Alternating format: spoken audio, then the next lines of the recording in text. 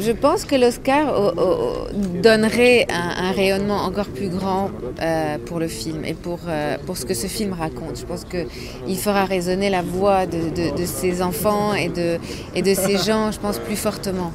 Euh, ça, j'en suis, suis persuadée.